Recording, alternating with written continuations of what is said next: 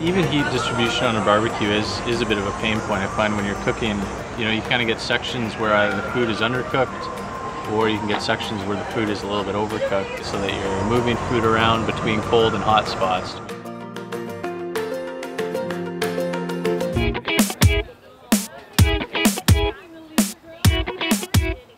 Because it's funneling all the grease away, you're not going to get flare-ups and burnt char that you taste on your food. And it just makes managing the grill much easier. Much more even consistency on this one. I can taste the sauce on this one. It's Totally. For the flare-free technology, because you have less flare-ups, what you had a chance to taste was actually the, the flavoring that was on the outside of the wing. Delicious. Let's get some more of those. Yeah, absolutely. Here we go. We were using frozen burgers, and once the, they really thawed out and the grease started dripping out, the flare-ups just started really kicking in. lots of smoke, lots of fire. It's like being in an 80s rock video. The guys on the Coleman Grill look like they'd actually be able to enjoy some of the social festivities going on. It's cooking evenly.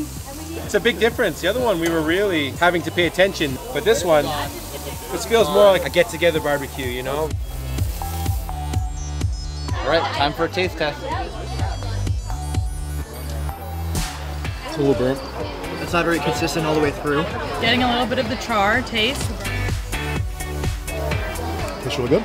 It's very flavorful. More juicy, more flavor. Much less of a, a charcoal taste. I enjoyed this one better. with family and friends around when you're barbecuing, you turn away from something and you have flare-ups. All of a sudden, you have burnt food and you have problems.